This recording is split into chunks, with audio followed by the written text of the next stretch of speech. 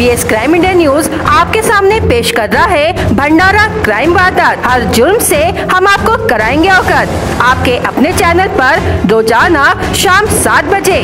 तो देखना ना भूलिए क्राइम वारदात। आँगन में हैंडल लॉक कर रखी बाइक की चोरी की घटना खैरी में हुई। रुपेश जयपाल ईश्वरकर, उम्र 26 वर्ष ने घर के सामने आँगन में बाइक रख गया था। यह बाइक अज्ञात चोर चोरी कर ले गया। मोहाड़ी पुलिस ने शिकायत के आधार पर मामला दर्ज कर लिया है। तेज रफ्तार चार पहिया वाहन ने दो पहिया वाहन को टक्कर मारकर दो पहिया चालक को घायल करने की घटना भीलेवाड़ा में हुई। इसमें संजय कुथे गंभीर रूप से घायल हो गए।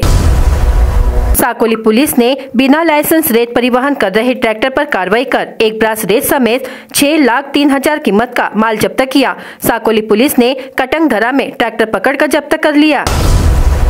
जिला सामान्य अस्पताल भंडारा में सल्फास नामक जहरीली दवा खाने से एक महिला की मौत हो गई। यह घटना शुक्रवार तीन नवंबर को सामने आई। रिपोर्ट के आधार पर लाखनी पुलिस ने मृत्यु का मामला दर्ज किया है। ग्रामीण थाने के तहत नवरगांव कला निवासी राधेश्याम उर्फ़ राजू फरकुंडे उम्र 50 वर्ष के खेत के नाले पर लगा पानी का मोटर पंप अज्ञात चोर ने चोरी किया। शिकायत पर पुलिस ने अज्ञात व्यक्ति के खिलाफ मामला दर्ज किया है। ग्रामीण थाने के तहत पांड्रा बोडी निवासी विजय कुमार डहारे उम्र 38 वर्ष के साथ दो लोगों ने लाठी से मारपीट की। विजय कुमार अपने गाँव के मित्र के साथ बात कर रहा था। विजय कुमार की शिकायत पर पुलिस ने मामला दर्ज किया है।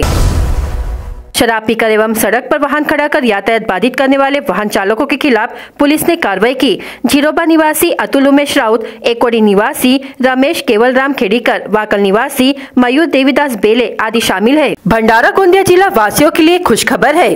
अब आपका मनपसंद channel B S crime India news अब आपके केबल नेटवर्क पर। जी हाँ अपने केबल नेटवर्क के एशियन चैनल नंबर तेरह पर उपलब्ध है। B S crime India news पर खेल, राजनीति, क्राइम साहित्य व अन्य खबरें प्रकाशित की जाती है। हमारे साथ जुड़ने के लिए तथा हमारे चैनल में खबरें, विज्ञापन आदि के लिए संपर्क करें, eight six six nine one five one seven five seven पर।